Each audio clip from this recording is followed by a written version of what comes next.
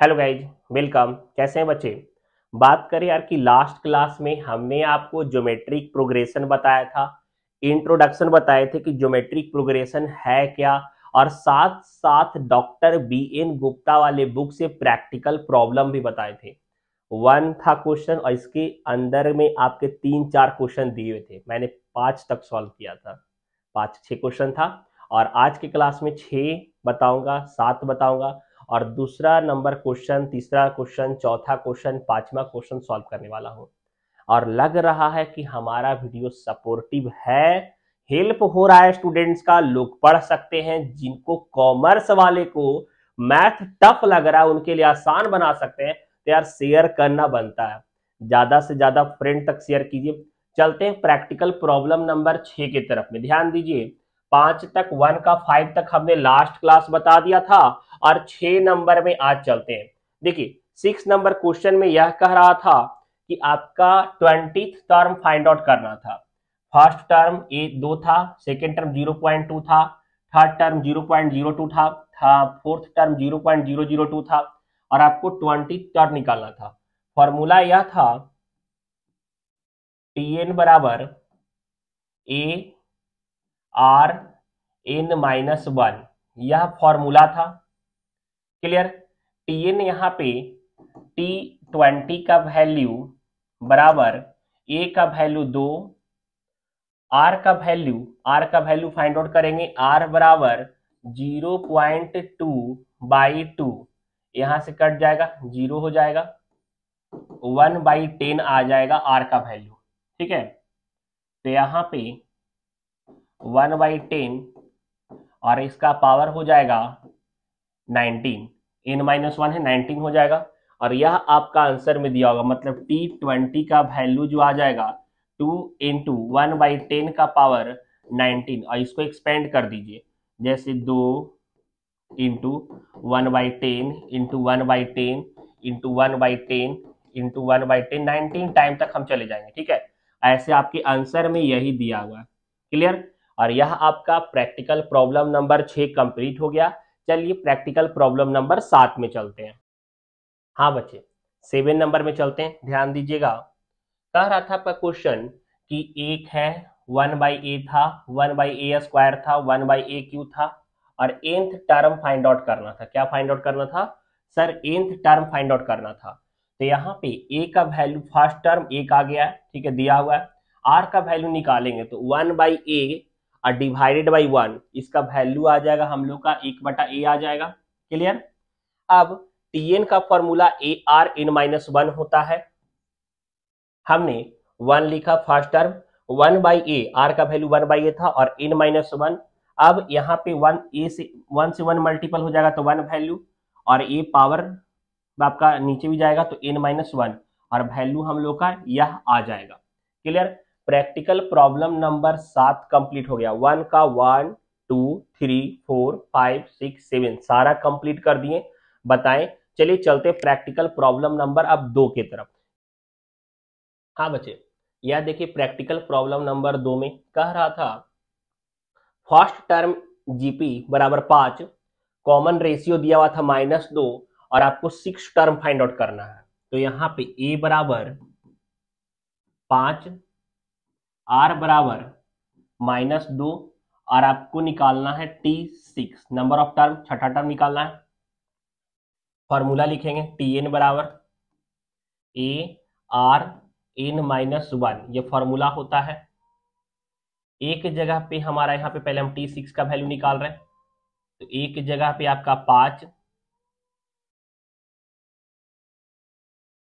Are के जगह पे आपका माइनस दो और इसका पावर हो जाएगा यहाँ पे फाइव क्लियर सॉल्व करेंगे. पाँच इंटू माइनस दो इंटू माइनस दो इंटू माइनस दो इंटू माइनस दो इंटू माइनस दो. पाँच बार है. अब मल्टीपल कर देंगे. One sixty minus one sixty आपका आ जाएगा और यह आपका प्रैक्टिकल प्रॉब्लम नंबर दो सॉल्व हो गया. चलिए प्रैक्टिकल प्रॉब्लम नंबर तीन में चलते हैं। ध्यान दीजिए। हाँ बच्चे प्रैक्टिकल प्रॉब्लम नंबर तीन में चलते हैं। समझिएगा, देखिए, बना इसलिए दिए यार और समझाते जा रहा हूँ ताकि आपके कम समय में ज़्यादा क्वेश्चन को टच कर दो। ऐसे वीडियो बहुत लंबा हो जाता है, इसलिए। देखिए, कह रहा था fourth fourth fourth term of GP is चालीस। फोर्थ टर्म जीपी का कितना है? चालीस है। And tenth term is two five six zero और दसवा टर्म दो हज़ार पाँच सौ साठ दिया हुआ और कह रहा है कि आपको कि सेवेंथ टर्म निकाल करके दिखाओ कि सतवा टर्म क्या होगा। अब देखिए टी का फॉर्मूला यहाँ पे है A R N minus one T N का फॉर्मूला है A R N minus one ठीक है? तो यहाँ पे फ़र्स्ट पहले दिया कि फोर्थ टर्म का वैल्यू चालीस है तो टी फोर बराबर ए आर क्यू होगा ना यार? एन माइनस वन है तो यहाँ पे। तो हम लोग का ए आर क्यू का वैल्यू ए आर क्यू का वैल्यू यहाँ पे देखिएगा।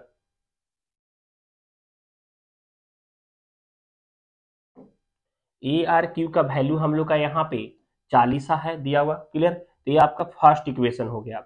दूसरा टी टेंथ का वैल्यू यहाँ पे ए आर नाइन हो जाएगा एन माइनस वन है, दस में से एक जाएगा तो नौवा टर्म होगा ना? तो यहाँ पे टू फाइव सिक्स ज़ीरो दिया हुआ है, बराबर ए आर नाइन, यह आपका सेकेंड इक्वेशन फ़र्स्ट इक्वेशन यह हो गया और सेकेंड इक्वेशन आपका यह हो गया क्लियर अब उसके बाद हम लोग डिवाइड करेंगे कॉमन आर इसी तरीके से निकालते हैं ना तो A R nine by A R cube बराबर two five six zero, A R nine का वैल्यू और ए आर थ्री का वैल्यू चालीस था तो हम लोग का आ गया यहाँ पे देखिए, नाइन में से थ्री जाएगा तो यहाँ सिक्स आ जाएगा, ए से ए कट जाएगा तो यहाँ पे आर सिक्स का वैल्यू सिक्सटी फोर आ गया।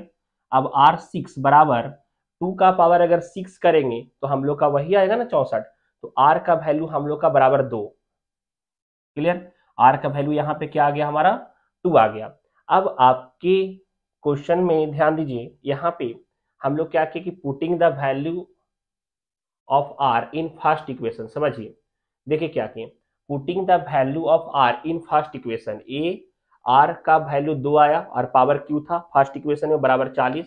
तो हम लोग का ए का वैल्यू आ गया पाँच। ए का वैल्यू हम लोग का कितना आ गया? ए का वैल्यू हम लोग का कितना आ गया? पाँच आ गया। ए का वैल्यू हम लोग का पाँच आ गया। जब हम लोग ने आर का वैल्यू पुट किया फ़र्स्ट इक्वेशन में तो अब उसके बाद हम लोग का सेवेंथ टर्म बोल रहा था।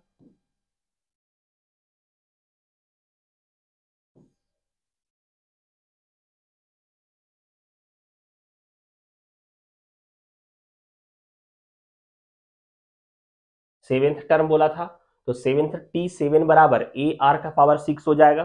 अब टी सेवन बराबर यहाँ पे ए का वैल्यू पाँच निकाले हैं, आर का वैल्यू दो आया है मल्टीपल कर देंगे पाँच इंटू टू सिक्स टाइम तो हम लोग का आंसर आ जाएगा थ्री टू ज़ीरो तीन सौ बीस। और यह आपका प्रैक्टिकल प्रॉब्लम नंबर तीन पूरी तरीके से कंप्लीट हो गया। चलिए प्रैक्टिकल प्रॉब्लम नंबर चार को बताते चार समझाते हैं। हाँ बच्चे, यह देखिए प्रैक्टिकल प्रॉब्लम नंबर चार। कह रहा था find GP which fourth term is three and seven term is eight by nine clear अब यहाँ पे आपका लेट ए देखिए, हम लोग ने माना क्या चाहिए आपका फ़र्स्ट टर्म नहीं दिया हुआ है सेकेंड टर्म नहीं दिया तो हमने लेट किया। At A first term second term A R third term A R square fourth term A R cube ऐसे करते करते वो एंथ टर्म तक जाएगा। क्लियर तो यहाँ पे टी फोर का वैल्यू दिया हुआ है तो टी फोर बराबर क्या हो जाएगा? ए आर थ्री होगा ना? N minus one A R three बराबर थ्री फ़र्स्ट इक्वेशन हो गया। दूसरा टी सेवन का वैल्यू दिया हुआ था एट बाई नाइन तो ए आर सिक्स बराबर एट बाई नाइन वैल्यू हो गया। और यहाँ पे फ़र्स्ट इक्वेशन आपका हो गया, यह सेकेंड इक्वेशन हो गया। अब हम लोग यहाँ पे सेकेंड इक्वेशन से फ़र्स्ट इक्वेशन को डिवाइड करेंगे यार तो ए आर सिक्स और A R power three A से ए कट गया आर सिक्स में से आर थ्री माइनस होगा तो आर का वैल्यू थ्री बच जाएगा। तो आर थ्री का वैल्यू यहाँ पे eight by seven twenty seven आ जाएगा। आठ by twenty seven nine three जा ट्वेंटी सेवन अब आर क्यू बराबर दो बटा तीन का पावर क्यू हम लिख सकते हैं। तो आर का वैल्यू हम लोग का आ गया टू बाई थ्री आर का वैल्यू क्या आ गया? टू बाई थ्री आ गया। अब कह रहे थे कि putting the value of R in first term तो जब हम आर का वैल्यू फ़र्स्ट टर्म में पुट किए फ़र्स्ट टर्म हमारा यह था ए आर का पावर क्यू तो पुट किए तो यहाँ पे वैल्यू आ गया ए का 81 one by eight eighty one by eight value आ गया। क्लियर अब आगे।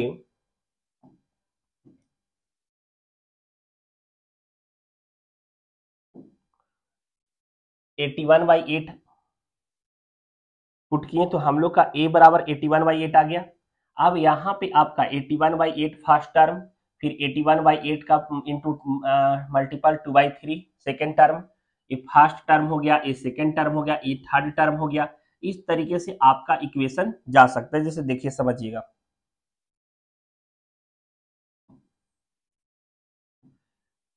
ये आपका second term first term second term third term हो जाएगा।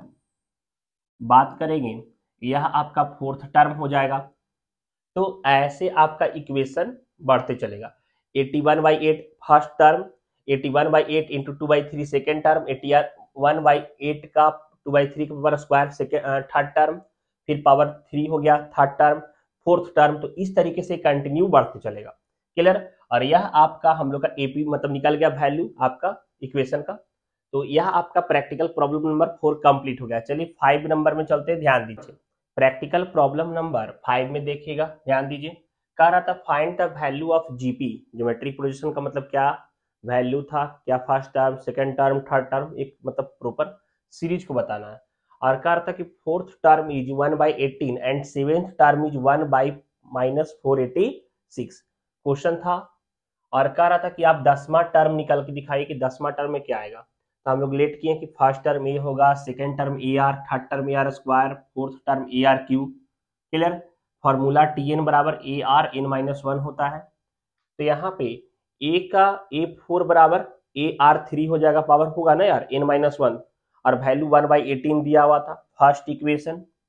Second equation, t seven का वैल्यू ए आर सिक्स और value one by minus four eighty six, ये गिवन था। तो यह आपका फ़र्स्ट इक्वेशन और सेकेंड इक्वेशन हम बता दिए। अब यहाँ पे t seven by t four value minus करेंगे। इसका वैल्यू ए आर सिक्स आ रहा था और इसका ए आर थ्री ए से ए कट गया तो आर सिक्स में से आर थ्री जाएगा तो आर थ्री बचेगा। आर थ्री यहाँ बच गया। तो यहाँ पे आर थ्री बराबर ए कैलकुलेट किए तो one by minus twenty seven आ रहा था। कैलकुलेटर से आप कैलकुलेट कर लीजिएगा। क्लियर यार फोर एटी सिक्स में एटीन से भागा देंगे तो माइनस ट्वेंटी सेवन आ जाएगा। और वन तो वन आपका वैसे ही। अब आर क्यू का बराबर वन बाई थ्री का हम पावर थ्री लिख सकते हैं, क्योंकि तीन तीन, नौ होती है सत्ताईस, वही हो जाएगा। तो आर का वैल्यू हम लोग का निकल गया।